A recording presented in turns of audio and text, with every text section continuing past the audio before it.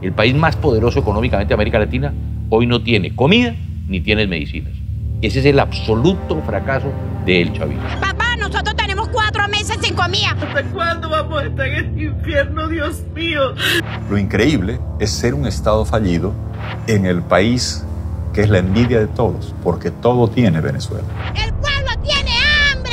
Mira cómo están aquí la gente nuestra matándose para llevar comida para su casa y ellos la queman. Apocalipsis del siglo XXI.